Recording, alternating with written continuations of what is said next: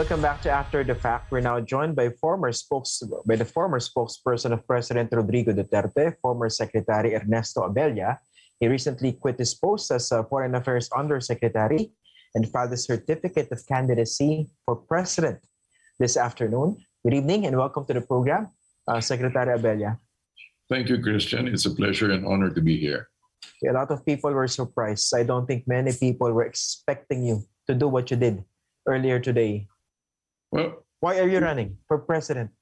basically, it's out of conviction, Christian. I'm not a political. But, uh, you know, my background is I was 18 years in the ministry and 20 years as an educator, 20 years also in cooperatives, and six years in, uh, in government work. And uh, I saw that there was a certain commonality among human nature and that change can be done, change can be brought about when people work together and, uh, and listen to one another. So what I basically what I want, what I'm in here for is to try to facilitate the rebalancing of the social relationships, government, business, and civil society, individual people. So basically, I sense that that's something that I can do. Okay, but but uh, the, when you filed your COC earlier and people weren't uh, weren't paying much much attention on the fact that you were running as an independent candidate, there was a lot of suspicion that you were just serving as a mere placeholder for an administration candidate. How do you respond to that?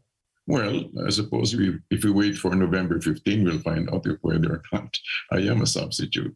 But basically, I understand. Uh, I, I'm beginning. I, I see the nature of uh, politics in the Philippines, and there is an attitude towards uh, doubt and mistrust.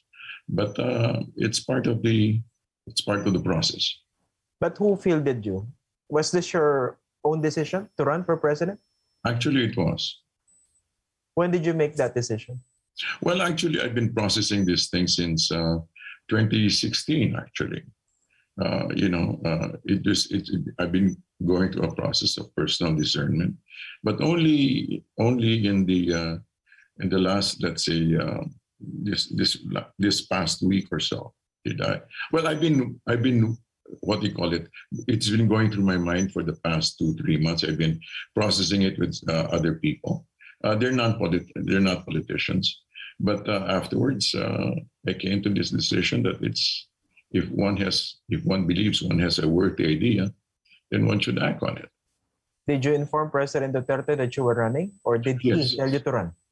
Uh, no, I informed him that I was running. Uh, When was this? Uh, let me see. What day is it today? Today is Friday. Yes, Uh, October I- 8th.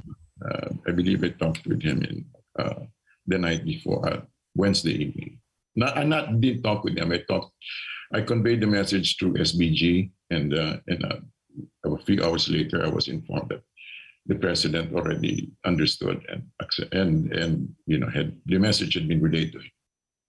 Uh, and this decision to run as an independent candidate, uh, what's the reason behind this? Were you even part of PDP before?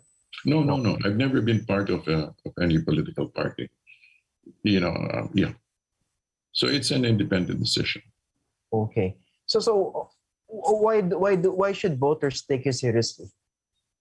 Uh, precisely because I, precisely because I've uh, done these things and I, and uh, I've I'm encapsulating it in a message. And if people respond, then uh, let's see.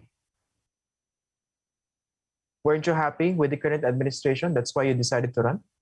It's not a question of being happy with the present administration. I believe that, uh, you know, it's uh, every every administration has been part of our social evolution, but I believe that we can bring it further, and we can bring it further uh, beyond uh, mere politics. That people can actually be